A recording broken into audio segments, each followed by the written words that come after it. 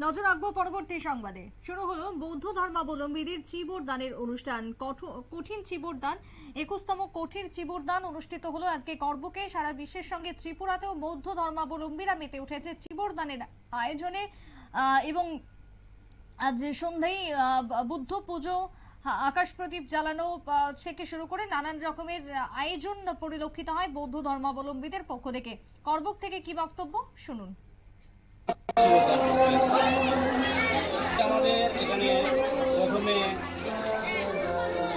হাজার প্রদীপ উৎসর্গ করা হইবে, তারপর সহস্র প্রদীপ উৎসর্গ করা হবে, এরপরে আকাশ প্রদীপ উৎসর্গ করা হবে। মন্দিরের নাম অবুধয় বুদ্ধবিহার দেবপাচুরি অবুধয় বুদ্ধ বিহার আমাদের এখানে